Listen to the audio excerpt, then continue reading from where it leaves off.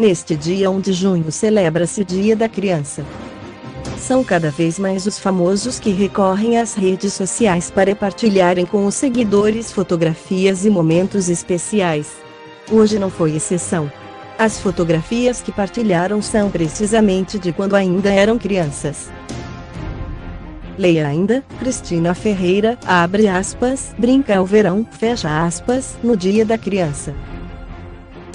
De cantores atores, passando por apresentadores.